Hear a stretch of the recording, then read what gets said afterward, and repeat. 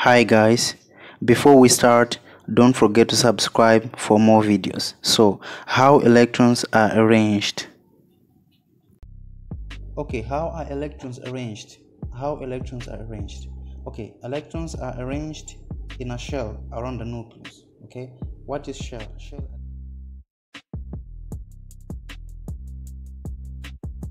these levels. We have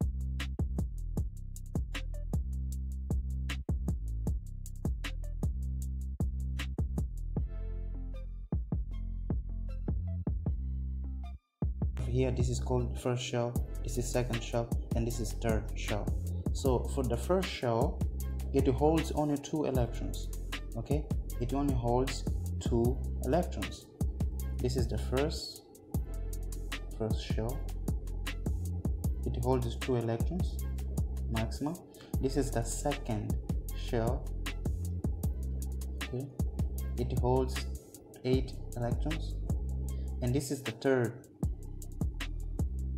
third shell this holds 18 but it fills up to 8 electrons okay? So it holds 18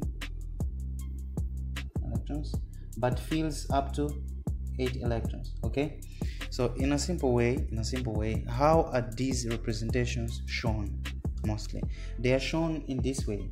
Uh, you can show them 288 which is 2 electrons 8 8 or you can show in this way 2 comma 88 or you can show them in this way 2.8.8 okay how, how to understand this? Why are here only two electrons okay there is this formula i will show you guys and it's very simple okay?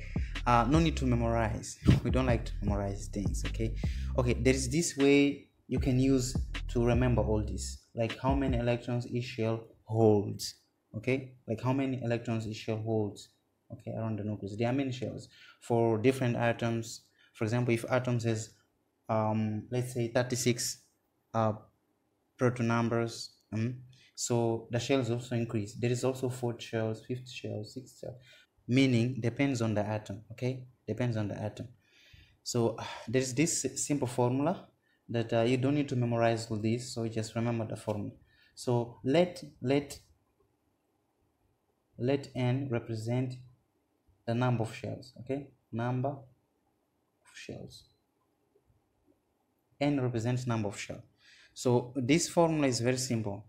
Is uh 2 times n square. N is the number of shells right?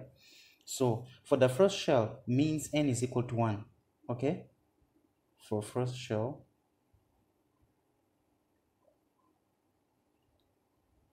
n is equal to 1 so this means 2 times 1 square is equal to 2. So total it holds 2 electrons. For the second shell, for second shell, n is equal to what? 2. Second shell, 2. Okay.